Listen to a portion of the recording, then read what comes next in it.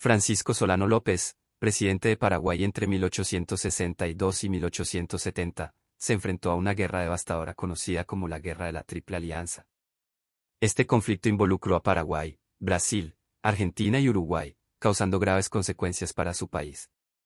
La guerra surgió por tensiones territoriales y políticas. López, preocupado por la expansión de Brasil y buscando consolidar el poder regional, llevó a Paraguay al conflicto. A pesar de la tenacidad de su liderazgo, Paraguay enfrentó desafíos enormes, escasez de recursos, enfermedades y grandes pérdidas de vidas. Aunque Solano López mostró valentía y resistencia, las fuerzas aliadas finalmente prevalecieron. La guerra terminó con la derrota de Paraguay y la muerte de López en la batalla de Cerro Cora.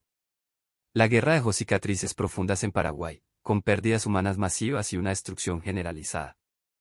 El legado de López es complejo, algunos lo ven como un patriota que luchó por la soberanía, mientras que otros lo critican por conducir a su país a un conflicto tan devastador. Esta guerra sigue siendo un episodio doloroso en la historia de América del Sur y la figura de Solano López es objeto de debates y reflexiones continuas.